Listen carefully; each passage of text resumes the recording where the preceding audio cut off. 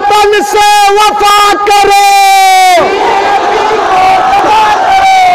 سناتا ہوں میں آنسوں کی زبانی۔ ہمارے اس علاقے سے بیشتر نوجوان پردیش میں رہتے ہیں۔ مٹیاریکا کی وہ دم توڑ دیتی ہے اور پندرہ منٹ میں میں نے یہ نظم لکھنے کا کام کیا تھا۔ میں پڑھتا ہوں بطور خاص۔ سنیے گا شاعری کی زبانی۔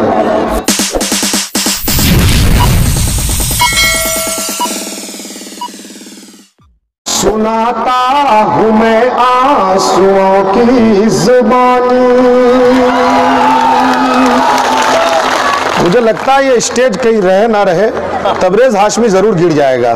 اس لیے تھوڑا ادھر ہو کے بیٹھیے آپ لوگ۔ مجھے محسوس ہو رہا میں کھڑا ہوں۔ تھوڑا کم کر دے بھیڑ کو، اسٹیج میں کم کر دے بہت کمزور ہے۔ ذرا سا آپ لوگ ذرا نیچے چلے جائیں، نہیں تو کوئی ضروری نہیں ہے۔ بلا لیں گے پھر آپ کو۔ ایک باپ بیمار ہے، بیٹا پردیس میں ہے، بوڑھی ماں ہے، ٹیلی فون میں اپنے بیٹے سے بات کر رہی ہے۔ ایک درد ہے، سنیے گا نوجوانوں، جب کوئی ماں اپنے بیٹے کو فون کرتی ہے پیسے کے لیے، تو وہ سوچتا ہے کہ پیسہ مانگی ہے، ماں کو دے دیا۔ پھر جب دوبارہ گھر میں اگر باپ بیمار پڑ جائے بتانے کے لیے ماں ٹیلی فون جب بیٹے کو کرتی ہے، تو بیٹا بولتا ہے کہ چھوڑو، یہ بڈھی فون کرتی رہتی ہے۔ یہ مت کبھی سوچنا کبھی مت سوچنا غلط فہمی ہے۔ وہ ماں ایک درد اور ایک پیڑا لے کر کے فون کرتی ہے۔ سننا دوستو، کہ جتن سے میں پالی تجھے میرے بیٹے، مجھے نہ بھلانا میرے پیار بیٹے۔ جتن سے میں پالی تجھے میرے بیٹے، مجھے نہ بھلانا میرے پیار بیٹے۔ میں کھاتی نہیں تھی، کھلاتی تھی تجھ کو۔ میں سوتی نہیں تھی، سلاتی تھی تجھ کو۔ جتن سے میں پالی تجھے میرے بیٹے، مجھے نہ بھلانا میرے پیار بیٹے۔ میں کھاتی نہیں تھی، کھلاتی تھی تجھ کو۔ میں سوتی نہیں تھی، سلاتی تھی تجھ کو۔ تیرا باپ بھی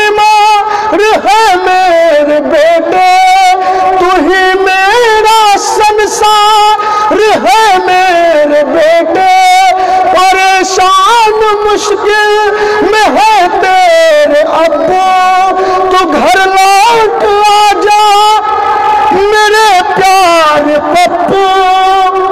تیرے باپ کو ہے دوائی کھلانی تیرے باپ کو ہے دوائی کھلانی سناتا ہوں میں آنسوں کی زبانی۔ نظم اگر پوری سننا چاہتے ہیں تو ایک بار زوردار تالیاں بجائیں۔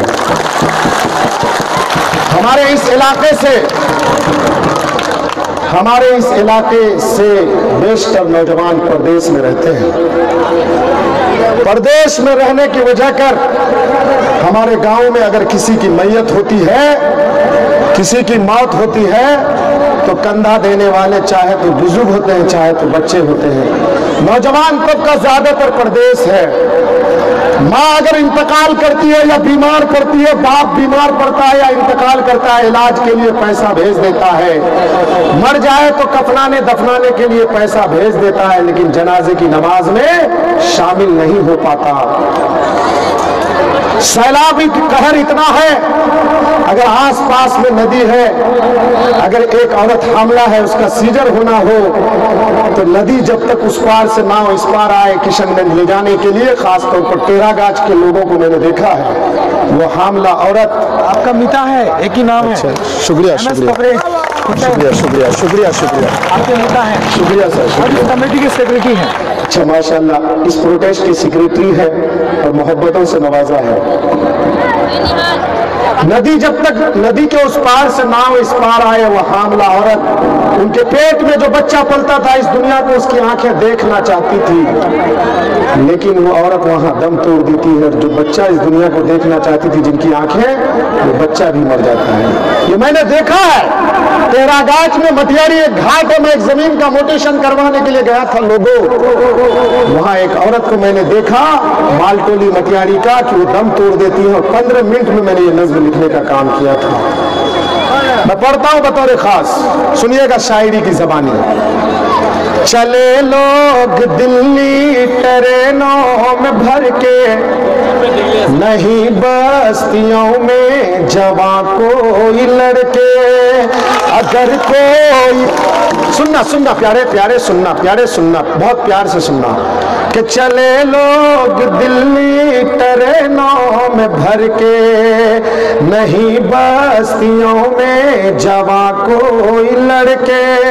اگر کوئی مرتا ہے گاؤں کا بندہ، نہ دے پا رہا ہے جوان کوئی کندھا۔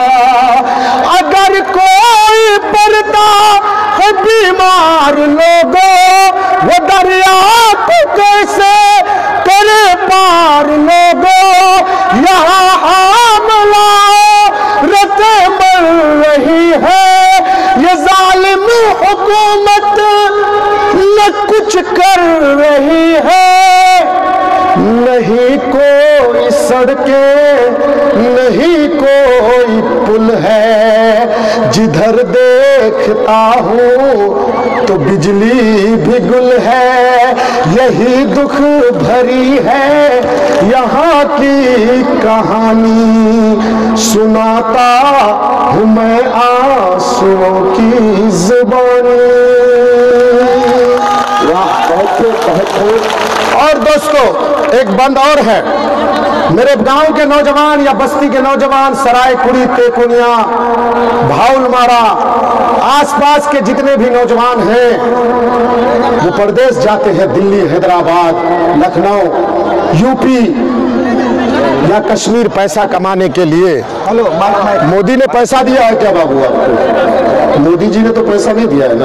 تو کام صحیح کیا اور پیسہ کمانے کے لیے جاتا ہے میری بہنیں آپ سننا۔ پیسہ کما کر کے پچاس ہزار ایک لاکھ پچیس ہزار اکٹھا کر کے لاتا ہے۔ اپنی بہن کی شادی کرواتا ہے اور خود کی شادی کرتا ہے۔ شادی کرنے کا ایک ہفتہ بھی نہیں گزرتا۔ غربت کی ماری اسے زندگی پردیس جانے پر مجبور کر دیتی ہے۔ اس نئے نویلے دلہن کے ہاتھوں کی مہندی کا رنگ پھیکا بھی نہیں ہوتا۔ غربت کی ماری زندگی اسے جب پردیس جانے پر مجبور کر دیتی ہے، تو میاں بیوی کے درمیان میں جب گفتگو ہوتی ہے، اس کو شاعری کی زبان میں سننا۔ آپ نے سنا ہوگا، آپ لوگ بھی محسوس کرتے ہیں، جن کے شوہر پردیس رہتے ہیں، کہ تم چلے جاؤ گے تو میں کیسے رہوں گی؟ وہ بولتی ہے کہ میرے ماں، میری ماں اور میرے ابو کا خیال رکھنا۔ بچوں کا خیال رکھنا۔ بعض سینے میں پتھر باندھ کر کے بیوی ماں، باپ اپنے بیٹے کو یا شوہر، بیوی اپنے شوہر کو الگ کرتی ہے۔ یہ بند پڑھتا ہوں بطور خاص سننا۔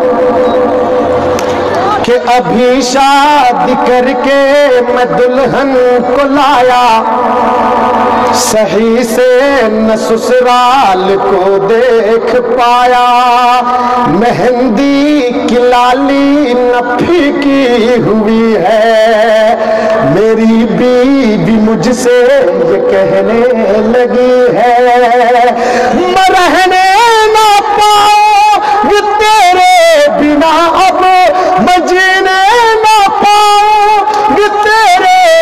تیرے بنا اب شوہر کیا بولتا ہے؟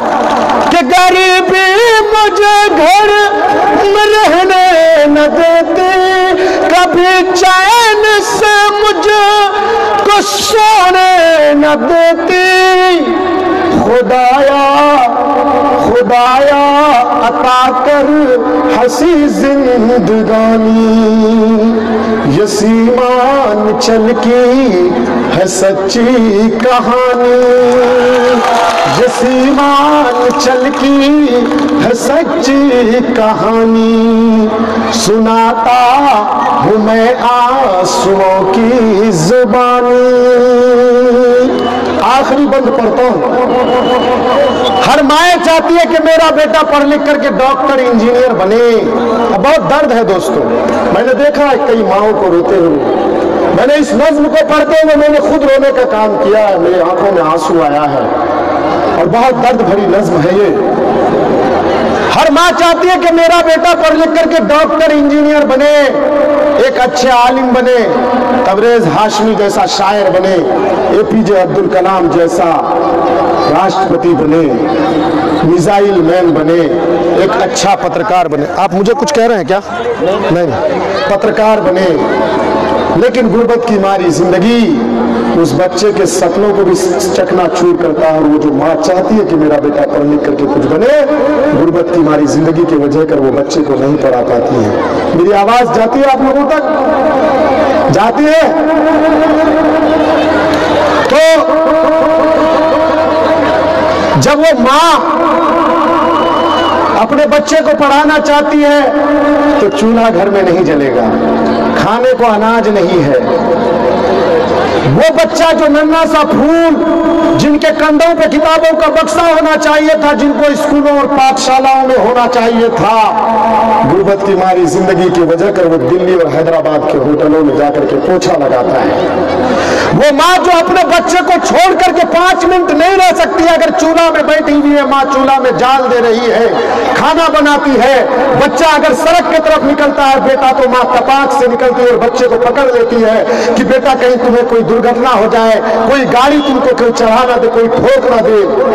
لیکن غربت کی ماری زندگی اس ماں کو اتنا مجبور کر دیتی ہے کہ بیٹا کو الگ کر دیتی ہے اور وہ چھوٹا سا ننا سا پھول سا بچہ جا کر کے دلی اور حیدرآباد کے ہوٹلوں میں پوچھا لگاتا ہے اور گالیاں سنتا ہے اور اپنے گھر کو چلانے کا کام کرتا ہے۔ اور پنجاب میں جا کر کے بوجھا اٹھانے کا کام کرتا ہے۔ بہت ساری باتیں ہمیں بتانا چاہ رہا تھا، میں آخری نظم کا یہ بند کر رہا ہوں کہ کوئی جات کے پنجاب میں جل رہا ہے،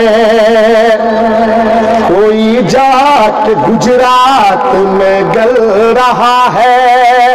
وہ معصوم بچہ، وہ ننا سا پیارا، وہ شہروں میں پھرتا ہے، اب مارا مارا سارا کہیں کھیت میں وہ اٹھاتا ہے بوجا کہیں ہوٹلوں میں لگاتا ہے پوچھا، خدایا خدایا عطا کر، ہنسی زندگانی، یہ سیمان چل کی ہے سچی کہانی۔ یسیمان چل کی ہے سچی کہانی۔ سناتا ہوں میں آنسوں کی زبان بہت بہت شکریہ۔ اب ایک نعرہ لگاتا ہوں، اس کے بعد مجھے اجازت دیں۔ میں بولوں گا کہ اپنے وطن سے وفا کرو، آپ کو بولنا ہے، بی جے پی کو دفاع کرو۔ کہ اپنے وطن سے وفا کرو۔ اپنے وطن سے وفا کرو۔ بی جے پی کو دفاع کرو۔